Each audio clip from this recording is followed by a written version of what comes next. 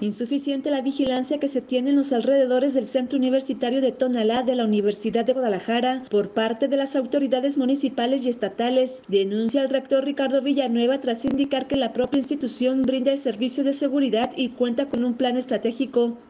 Falta muchísimo que hacer en la seguridad afuera de las instalaciones, que ya ahí poco podemos hacer la comunidad universitaria, más que también pues, estar al pendiente eh, de hacer campañas de,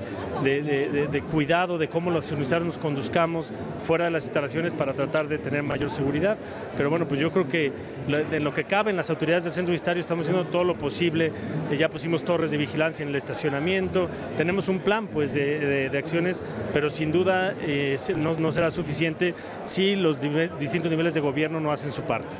Recordó que el año pasado la UDG en comodato con el ayuntamiento de Tonalá se puso a disposición una camioneta para que elementos de seguridad vigilen de manera exclusiva a los cerca de 10.000 estudiantes que acuden a los planteles universitarios instalados en el municipio, tras lamentar que en las últimas semanas algunos de ellos hayan sido víctimas de la inseguridad. Debe ser un llamado de atención a todos los niveles de gobierno de que las cosas, por más esfuerzo que estemos haciendo a autoridades universitarias y los niveles de gobierno, no es suficiente. La inseguridad se vive todos los días en, todos los planteles de la Universidad de Guadalajara